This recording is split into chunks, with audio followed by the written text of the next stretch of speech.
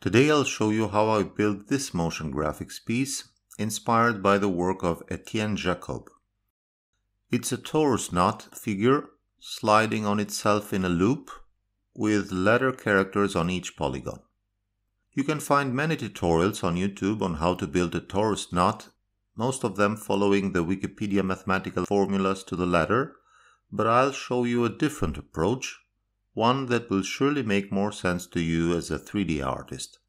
After that, I'll show you how to distribute text on the generated mesh faces and orient them so that they stick to the surface as they slide. It's not a straightforward process, so I urge you to follow till the end and learn a new thing or two. You can think of a torus knot as a cyclic curve coiled several times around a flattened helix. How's that for an explanation? Don't run away yet. It's easier than you think. Let's start by creating a helix. Now, I know that helix comes bundled as a curve primitive, but I'll show you an alternative way to build it.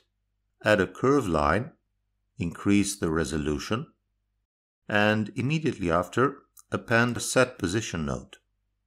This might not seem the most intuitive way to build a helix, but bear with me. Connect a combine XYZ to the position input and insert a vector rotate node. Set the X coordinate to 1 for the moment. This will be the helix radius. We'll rotate the points around the origin in the Z-axis. The angle will increase with the factor value along the curve. Keep in mind that the factor value ranges between 0 and 1 while the angle is expressed as a fraction of 2 times pi, or tau. See? We have created a full circle. Now let's offset the points upwards to turn it into a helix. Connect the combine XYZ node into the offset input and feed the spline factor to the Z channel. Currently the curve revolves only once, but we can have as many revolutions as we want by multiplying the angle value. Multiply the factor by an integer number, leave it at 2. The effect we're after calls for a closed curve, so set the spline to cyclic before the resample step.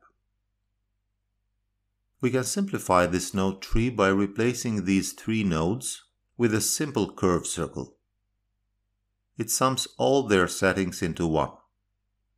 As I said at the start, this will be a flattened helix, so we don't actually need the vertical offset, it was just to visualize the shape. Now let's coil another curve around this flattened helix.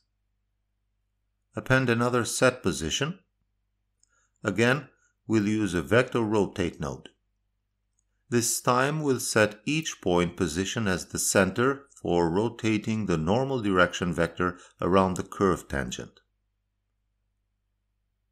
It sounds a mouthful, but I know what I'm talking about. The angle will be dependent yet again on the spline factor, so just copy this group of nodes from the previous step and change the number of revolutions. Set it to 3. To control the distance from the main helix, scale the normal vector. And there it is, a torus knot, a continuous curve coiled around a flattened helix. You can play around with the number of revolutions for the helix or the coiled part, inner and outer radii. By the way, it's called a torus knot because the curve is projected onto the surface of an imaginary torus. Let's now add thickness to the curve with a curve to mesh operation. Use a curve circle as the profile. Lower the resolution and radius so the faces don't intersect. Next step is animation. I guess you know how to slide one curve along itself. In any case, here's how it's done. We use another set position node where do we set the position for each point? We sample the position on the same curve based on the spline factor. All the points are now on top of the original curve. To animate the offset, we'll add time to the factor value. Let's map our scene frame length into a 0 to 1 range, which represents our curve factor. To make sure that the curve loops around itself, insert a fraction operation. It will always return just the decimal part of a floating number, which is never greater than 1. Hit play and observe carefully. Our torus knot slides along itself, but something is not right. You can surely catch some wobbling from time to time, breaking the linear pattern of sliding. Let me explain why this happens. Basically, the curve to mesh operation clones the profile curve points on every torus knot curve point and generates a mesh connecting them. It uses both tangent and normal direction vectors from the main curve to orient those profile points along. The tangent vector is easy to understand. It's the direction from the previous point to the current one. The normal vector is a bit trickier it's supposed to point in a perpendicular direction to the tangent, but perpendicular to what plane? Usually that plane is calculated using the up vector, that is the z direction, or the plane defined by the previous point, current one and the next one along the curve. This method is called minimum twist. Both these methods are the most used ones, but there is actually an infinite number of planes that incorporate the tangent vector. Clearly the method Blender chooses by default is not working for us. Geometry nodes offer a special node called Set Curve Normal. You can choose between minimum twist, Z up, and free modes. Set it to Z up. Hit play and see how smooth the animation is. Frame the nodes and name them according to their function. This is the end of the torus knot part. If you want to learn how to distribute text on the faces, keep on watching. Add an instance on points node and feed a string to curves geometry into the instance input. Create a group input for the string field and type motion design into it. Make sure to add an empty space in the end for separation. Don't get scared of the mess you might see in the 3D view. First of all, check the Pick Instance option. Scale the character size down. Join geometries with the torus knot. Second, use a Mesh to Points node to generate one template point per face. To have the instances match the face centers, select midpoint from the pivot point menu and use a set position node to position each character by the inverse vector of the pivot point. I've explained this trick in my previous tutorials, so I won't go deep into this now. Hit play. You can see the characters slide with each face along the knot curve but their orientation doesn't match. Well, we can try and align them to the normal direction of each face. Let's do it. From the curve to mesh geometry, branch out a sample index node. Set the domain to faces and the attribute type to vector. Our character types match the face numbers, so their indices do as well. The attribute to sample is normal. Feed that into the vector input of an align Euler to vector node and select Z as the axis to align with a normal direction, and use the result to rotate the instances. Have a look at the 3D view. If some of the letters disappear, switch your view to wireframe mode or just fill the instances curves and extrude them a bit. You can now clearly see the letters point outwards, their z-axis matching the polygon's normal direction, but as the animation progresses, the angle around that z-axis shifts in an unpredictable way. This means that aligning just one axis is not enough. We need at least one other anchor for a stable orientation. What if we align the x-axis of each letter towards one of the edges of its corresponding face. Can we even do that? Of course we can. Geometry nodes offer us some very useful tools for that, grouped under the Mesh Topology menu. Before diving into that, let's add another Align Euler to Vector node, keeping the x-axis active. Feed an Evaluate at Index node into the empty vector socket and switch the domain to edges. We want to sample the edge position.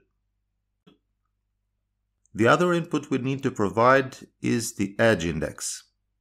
That is the index of the edge towards which our character x-axis will be aligned.